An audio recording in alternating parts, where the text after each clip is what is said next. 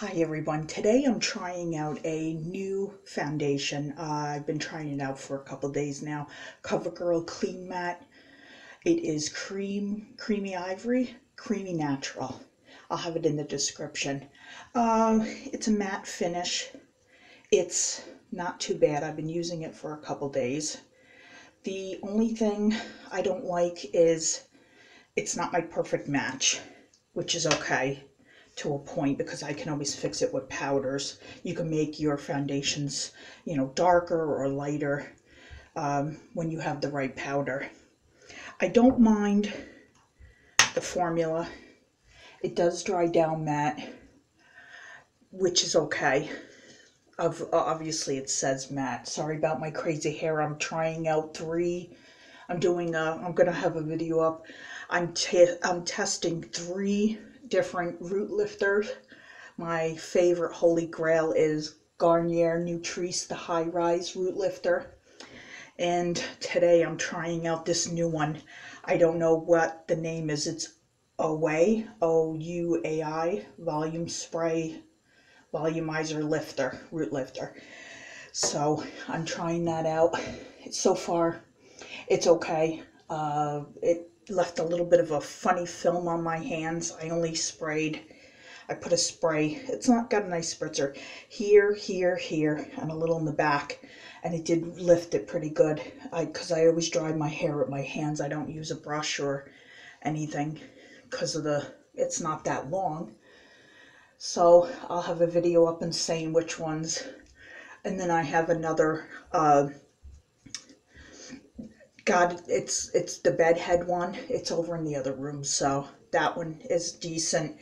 I think it's a little too heavy, but so anyways, let's get back to CoverGirl because I have the foundation and I have ch two cheekers. It's the only thing I could find in Walmart. My Walmart has a huge CoverGirl section, but the everything in my match is out of stock or it's been opened, even though there's cameras right in my Walmart, right in the aisle. The crazy thing is you go to pick something out and it's you see the it's been broken open opened when as soon as you pop the top off of a pump you can see it's been used or it's all over the top these people in my walmart I don't know. I, I'm there during the day. I don't see people doing this. It must be people at night because when I'm there during the day, there's not a lot of people. The lady's always stocking out. She's good about it. She said when they do put out products, she says they can't keep them in stock, or she says she just spends half a day going through each rack of every product ELF, CoverGirl, L'Oreal, everything. And she says it takes her half a day. She has to go through every couple days each and every single two aisles and pull all the products that have been used. And she has a bin. And she says she can't believe the she said the waste every week is just she said it's just incredible. She said and it's been getting worse. So I said or maybe they need to have more even though it's on video and our Walmart has a very big problem with stealing, theft. They're in the paper all the time, being caught. Maybe they need some undercovers going over there at night. I mean, because they're open 24 hours. It could be in the middle of the night. Who knows? But they, she said it's a bin every week, which is ridiculous. So another thing, I like this formula. It is matte and I have a hydrating elf primer on underneath and I did moisturize with my Olay age defining moisturizer. I do that first, let that dry, then I use the e.l.f. illuminator. The e.l.f. is really good. This is the first couple times I'm using it. I'm sorry, it's not illuminator. e.l.f. hydrating face primer. It's very nice. I almost mistook, mistook it for the green color corrector that they had right near it. Thank God I looked at it because I already have the green one. I've tried that. I didn't particularly care for it. It was very sheer, but I used it up for six bucks. I mean, I used it up. With any foundation, because I have mild rosacea here, but I also have a lot of texture and I have a lot of pores. I was watching another YouTube video of a lady that I love. I'll put her link down below. Her name is Chell. Uh, oh my goodness, I just put her on my, I just added her to my YouTube channel, you know, what, that I watch. Chell. She's a dark skinned lady. Very, very, very, very good. She has over a 100,000 people, I believe. I happened to see her in wasn't trending. All of a sudden, you know, I just went to home and her her thing came up. Oh, I was looking for Morphe, the new Morphe foundation reviews on the fluidity, which I'm going to buy. Uh, it's coming out on the 17th. Hopefully, I can get it before it's sold out. And they also have the concealer for $9, I believe, 8 or $9, which I'm going to grab. I was watching her, and she said, because I mean, her texture and her face, she has acne scars. She has very dense texture.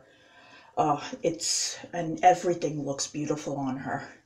She uses a thick, dense, Tarte.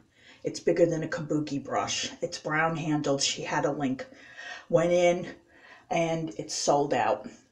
And she said in the video, she says that because she recommends that they, they can't keep it online. It's just, so I'm like, oh, so Tarte. I wonder if it would be an Ulta, but who who knows, right? She said, take your foundation, a uh, heavy foundation brush. This is the only one I really have. It Cosmetics doesn't have a number. It's their foundation brush. She said you want it to be stiff, but not too stiff. You want it to be able to move. She says, take your foundation.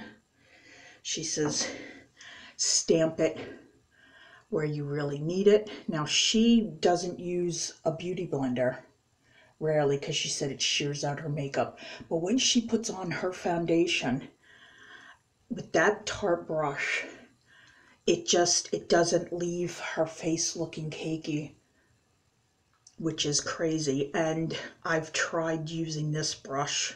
As she said, don't swirl, especially if you have a lot of texture. I have tried using this brush get texture. I've used very little on here. I've wiped some off and I've tried. What I got to do is, because it sits on my face so heavy, and she uses eh, tons of different, tons of different foundations. Her videos are amazing. I'll put her name in the description box. What it is, is I have to go back over with a beauty sponge it just sits on my face too weird. It doesn't dry down. I don't know why I can't get the results similar to hers, but that's okay. And she uses a lot of powder, but her foundation, she'll use it and her foundation doesn't look cakey. It's got to be the brush. So the brush, I have to keep trying to get. I'm going to stop at Ulta and see if they have the brush. I think the brush probably is around $30. I'm going to see online if they have it. I'm going to stop in the store probably today or tomorrow and see if they have it. I want to get a feel of it. I also know that Sigma and Morphe makes really good foundation brushes, but the one she's using, it just, she said it's the only, she said if anything ever happened to it, she'd cry because she uses it constantly. It's the only really brush that she uses. Now, I had to go like this because what happens is my makeup, like I was saying with the brush, and it's I only use that brush, so maybe if I do try other brushes, it just sits on my face really, really cakey. And my holy grail, the one I use, the foundation I use the most, as you guys always know, and I'm always bragging about it, and I'm always using it, is the Wet n Wild Photo Focus Foundation. My perfect match is Shell Ivory. I was using soft ivory. It was a little yellowy on me, and I was mixing it with some other foundations. The I was mixing it with the some Maybelline that was a little more on the pink side. But to me, this is perfect. Shell Ivory. It's my perfect match. It's got just enough pink. It's hard to see on my monitor, but it's got just enough pink. And this one is the Creamy Natural, which has just a hint of the pink. It's not too bad. And I notice it looks, it looks pretty good. So you always blend your foundation down your neck so you don't get that mask looking. Try to go around your ears. Try to go around your jawline really, really well. This emphasizes my upper lip, which is always dry and has some texture. This does emphasize a little bit more than the photo focus right here. Right here. But I have texture. I'm an older lady. I'm in my late 40s. There's nothing I can really do that's going to change that. No matter how much I moisturize and exfoliate and do everything because I have to be careful because of my, my mild rosacea. I can really irritate myself and make my face look crazy. Okay, what I'm going to do is let me set my face with Coty Airspun. I have the translucent translucent extra coverage because it's the only one I can seem to find. Everything else, the regular translucent is always out at my Walmart and online. I'm going to try to go up to Target today and see what I know I have to put on eyebrows. This is just for demonstration. I know I look crazy without them, but this is just a set so I could put on the cheekers, the brush. So, because I have to put on some under eye concealer. I'm going to use powder. I've been using liquid Maybelline, uh, Wet n Wild. Okay, now, let me dust some of that off.